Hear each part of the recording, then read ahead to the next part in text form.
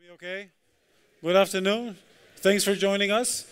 Um, initially, I thought I'll be talking to 10 people, and five of them are going to be wearing blue shirts, so it's good to see that uh, we got more and more in the audience. Uh, so, my name is Oded. Um, I work for PlumGrid as a system engineer, and I've got about 20 minutes to give you about an hour worth of content. So, we're going to uh, kind of rush through some of the slides. Uh, we are going to do a demo, so this is a live demo. I know this is a demo and we promise you that. So let's cover that. Uh, but before we get to the demo, just a couple of slides about um, what it is that we do. So at PlumGrid, we developed virtualized network infrastructure to power up you know, the next generation, the modern data center. And when we started looking at um, some of these um, um capabilities of what SDN is, some of the things that we wanted to achieve is to be able, for example, to create a software stack that can run on any network and can be scalable and can provide security and can be used things like a policy-driven type of an attribute. Okay, so this is a what we kind of set our sights to build. Um, we are a software-only solution running as an overlay in the SDN um, kind of a space. So for those of us who've been in the cloud uh, space for quite some time, uh, we all understand that networking in the cloud has been kind of a lagging behind some of the um, advancements and innovation that we saw coming from the compute and the storage uh, world. And we're, we had to play a little bit of catch up to kind of close this gap of what networking needs to be done and to allow this next generation data center that really um, comes down to how do we automate things in the data center. Okay, how I can give an application or some kind of a higher layer abstraction um, the ability to go and to orchestrate things not only from a compute perspective and from a storage perspective, but also from the network. And the way for us to do that is really look at software defined networks. We all realize that the physical network is a bit of a challenge, and if I got to orchestrate something in the physical world, it's pretty much sending somebody to the data center to move cables around, and that just didn't work for us anymore. So that was what we were trying to solve when we started um, PlumGrid about three years ago. So we're in an OpenStack uh, conference, and I'm sure some of you guys are asking, so hold on. We already have a solution for networking in OpenStack, right? And we call this Neutron. Um, why do we need other solutions, right? What's wrong with, with Neutron? So let me start by saying that, first of all, nothing is wrong with Neutron, okay? In Neutron, the way that we kind of see it, Neutron is this overall umbrella of network services that can live within the OpenStack um, kind of a framework. And when we look at Neutron from an API perspective, this is kind of the unified language that we have. We got a set of APIs, and if I want to build something from a network, I call the API. Hey, go and create a network, create a subnet, create a router, connect those together. So a user or an application can go then connect and consume these services. The challenge for us began when you look what's underneath Neutron and some of these components that happens kind of underneath the API layer. And this is where we started seeing some of the challenges about things like the network node, things like agents, things like OVS. And if you just look at the typical deployment of, uh, of uh, Neutron using the OVS and some of the agents, that presented a challenge for a lot of companies. And you know, our booth is right over there, and I think half of the people that walk up and talk to us are saying the same thing. It says, we're trying to build this network. We've got a challenge with Neutron. It doesn't scale. We need HA. We need something that looks a little bit better. So, given that as the context of what we were trying to solve, keep that picture in mind. I'm going to go back to a similar picture in a little while that shows you how this looks with, um, with PlumGrid components underneath. Before we get to um, look at how we do that, I want to take a step backward and talk about virtual domains. And I think this is maybe one of the most unique things about the technology that we've built that really helps understand why this is so unique. Okay? And when we talk about um, network virtualization, some of the things that we want to understand is really the operational elements of how do we operate a virtual network or an SDN. So we started thinking about this. Um, I'll say, okay, we've got APIs and we've got programmable data planes and we got software switches, but we kind of looked at how virtual machines are being created in the network and some of the advance that virtual machine gave the, the IT world and how it, it really revolutionized the way we do things. And we saw some similarities between these two approaches. Look at a virtual machine, it's a software container.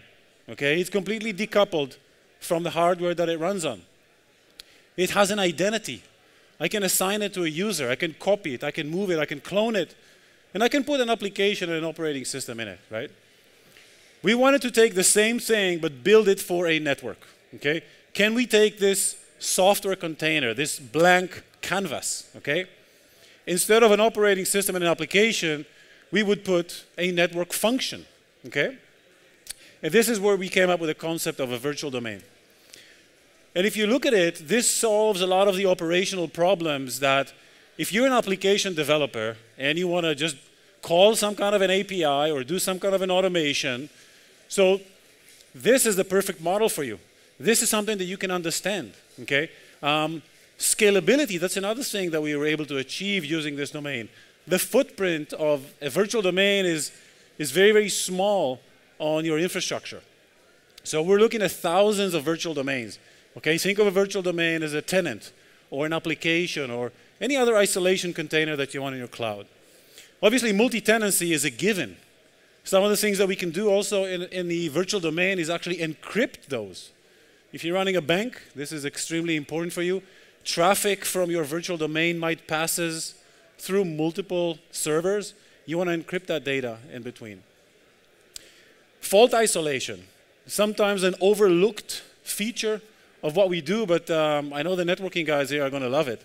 If you mess up this virtual network, you only messed up the virtual domain your physical network is going to stay intact. This is something very, very important.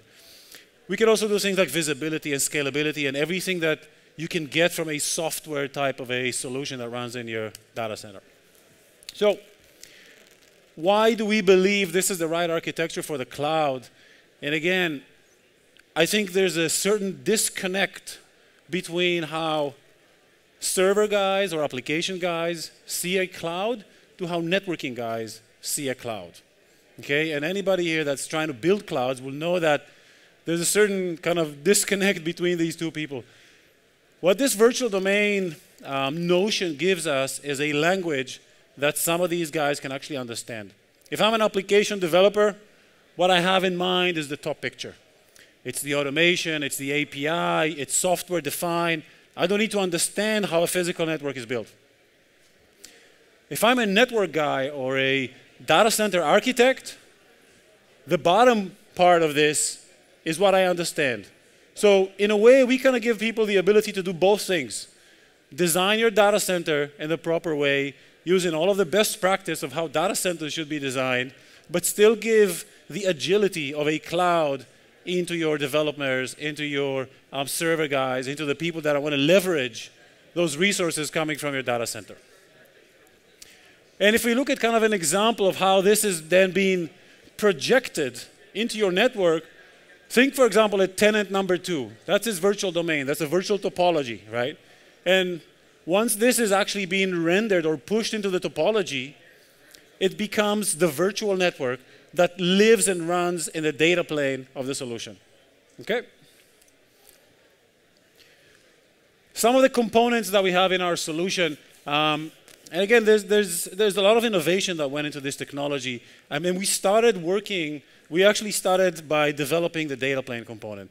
You know, in SDN, we always have the data plane, this is where packets are running, control plane, where this is where the logic is. We started building the data plane component that we called uh, the IO Visor, or the IO Visor Edge. Um, this is a programmable data plane component that lives inside a Linux kernel, okay? Um, it replaces kind of the OVS. Okay, so if you guys know OVS, we sit right next to it. So we take it out and we put that. Um, one of the unique things about this component that it's a fully distributed programmable data plane. That means that you can write new functions into it in a very easy um, and, and automated way.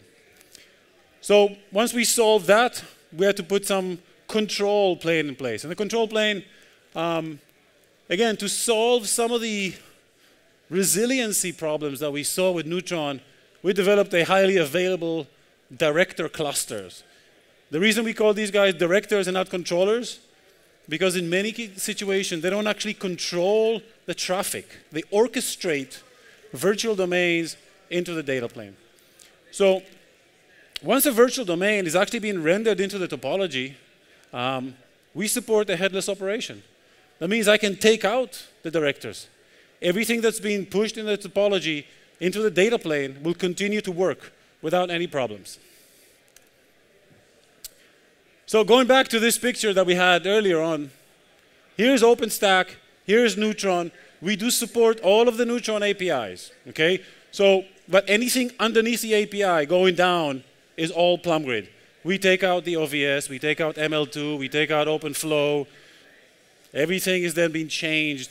So the reason we maintain the Neutron API is because this gives us this compatibility with everything else that rides on top of OpenStack. So to make kind of the analogy, you know, you get to drive the car in the exact same way, but the engine is completely different now. Okay? So for you as a user, it becomes transparent. Okay?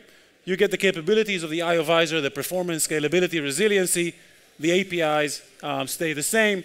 Once the API is pushed into our director cluster, these virtual domains or virtual topologies are being created and then they're being pushed into the data plane component and you kind of see the uh, illustrated version of it.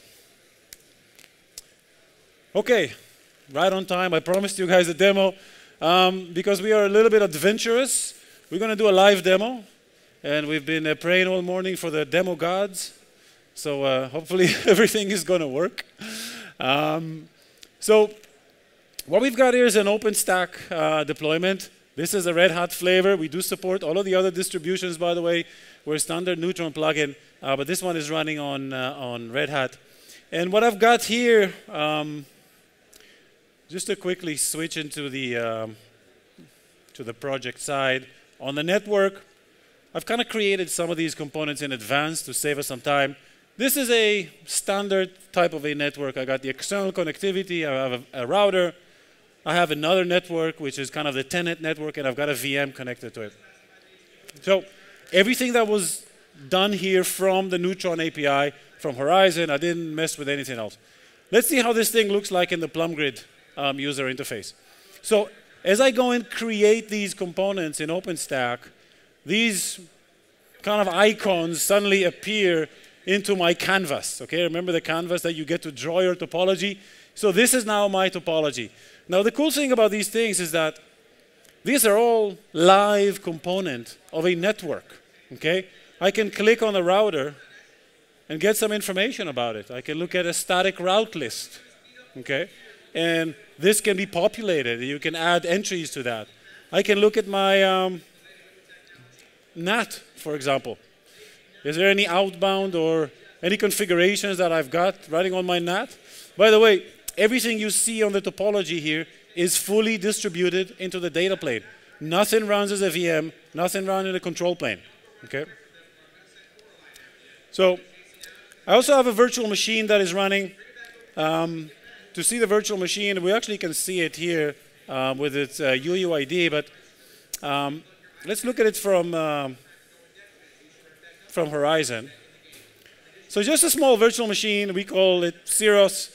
Um, what I want to show you today is a new feature we just released uh, in this version, which is OpenStack Networking Suite version 2. Um, and it's an internal DNS feature. So some of you know this is a project that actually happening in Neutron. It's called Designate. It's not released yet. We've kind of a little bit ahead of the curve. We do support all of these APIs that coming from, but we're able to implement that DNS as a, again, a distributed function into our data plane which allows you to basically do name resolution inside your virtual network, inside your virtual domain. So to show you that, um, let's first of all see if this VM is up.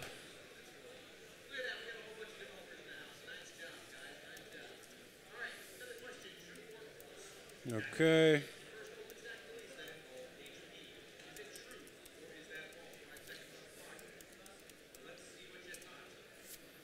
Okay. We don't have the external connectivity here because of the network, but let's uh, go and create another VM. um, and see if we can get the name resolution to work, um, at least internally. So this is going to be an Ubuntu VM. Uh, let's call it Ubuntu 7.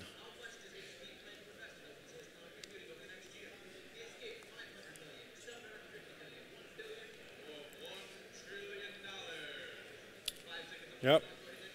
We also need to tie it to a network. By the way, once this VM is booting up, let's look at the CirrOS VM and how it shows up in our DNS. So if I'm looking at my uh, DNS component here, and okay, eventually it will come up.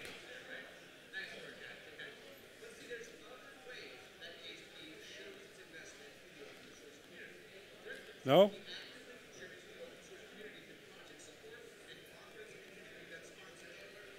Okay. Um, one of those right-click options actually does give me to see the host when it was registered to the DNS. When the host comes up, it goes there, registers itself in the DNS so I can see the host name. Here I can just see some of the static routes if I've decided to use any static routes. Anything that has to do with the zone attributes. Okay, so this is my domain. So this is a fully functional internal DNS to my environment. Now, obviously, in a multi-tenancy environment, you'll be running namespaces, so you have the same kind of an IP addressing across multiple cloud or multiple tenants, each with the same IP address scheme, different domain, and your name resolution is going to stay contained to your virtual domain. Um, so, so we got 40 seconds for questions, and if not, like I said, we're booth E18 right over there please come talk to us um, if you want to, and uh, thank you very much.